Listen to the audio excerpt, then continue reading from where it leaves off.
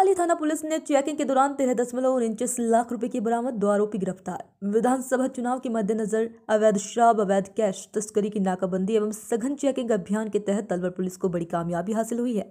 SP Anand Sharma ने बताया कि मुखबिर के ज़रिए सूचना मिली कि ट्रेन द्वारा गुजरात से राजस्थान अवैध कैश लाया जा रहा है, जिस पर टीम द्वारा रेलवे स्टेशन के आसपास नाकाबंदी व सघन चेकिंग के दौरान मुखबिर इतला द्वारा बताए गए दो संदिग्ध व्यक्तियों को रेलवे स्टेशन के पास जाट हॉस्टल से डिटेन कर तलाशी ली गई। तो उनसे तेरह लाख उनचास हज़ार पाँच सौ तीस रुपये की राशि बरामद हुई जिनके आय के स्रोत के बारे में जानकारी न दिए जाने पर उक्त राशि को जब्त कर लिया गया। दोनों व्यक्तियों दीपक व गिरीश को गिरफ़्तार कर लिया गया है। पकड़े गए दोनों आरोपी गुजरात के निवासी है जिनसे पुलिस पूछताछ जारी कर रही है।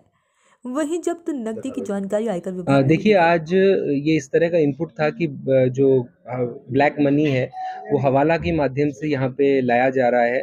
और इसलिए हमने वो ट्रेन के माध्यम से उसके आने का था तो हमने इनपुट आधार पर सर्वेलेंस किया और उसके बाद जब नाकाबंदी में दो व्यक्तियों को पकड़ा, दोनों गुजरात के रहने वाले हैं और उनके पास से तेरह लाख पचास हज़ार के करीब की नकदी मिली है, उसको वो एक्सप्लेन कर सके, ऐसा कोई डॉक्यूमेंट उनके पास नहीं है।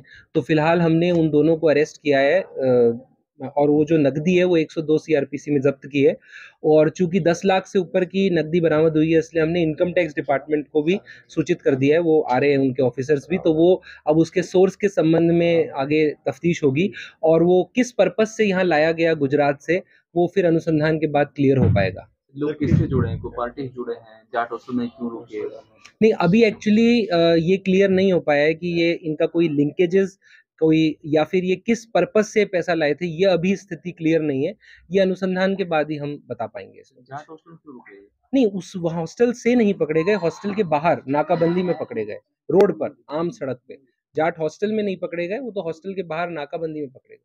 सर किन धाराओं में इनको अभी अभी तो एक सौ इक्यावन में गिरफ़्तार किया और पैसा 102 में जब्त किया है। अब आगे अगर इनकम टैक्स को लगेगा जिसके तहत फिर इनके खिलाफ कार्रवाई की जाएगी।